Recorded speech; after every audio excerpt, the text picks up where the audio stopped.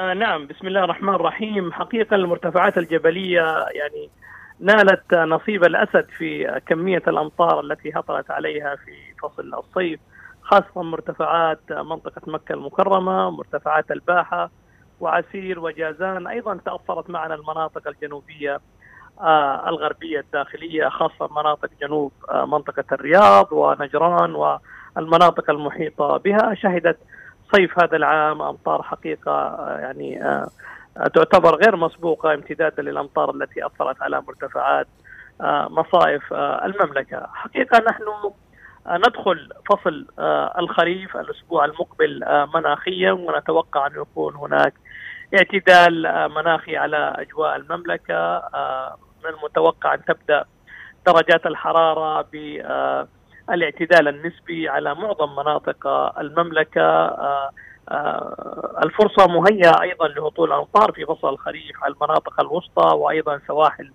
منطقة مكة المكرمة آه، شمال المملكة. أيضا المرتفعات قد تشهد أمطار خفيفة. المؤشرات تشير إلى أن فصل الخريف من المتوقع أن تكون أيضا درجات الحرارة به قد تكون أعلى من المعدل الذي تسجل عادة في فصل الخريف لكن آه من المتوقع أن تبدأ درجة الحرارة بالاعتدال النسبي.